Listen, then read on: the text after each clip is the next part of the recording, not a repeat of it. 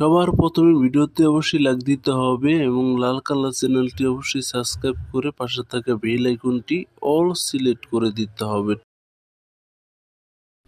আমরা যে কোনো মোবাইলে যে কোনো ফাইল থেকে একটি সুন্দর ছবি সিলেক্ট করে নিই, তারপর ছবিটিকে ব্যাকগ্রাউন্ডে নিয়ে সুন্দর মতো কালার করে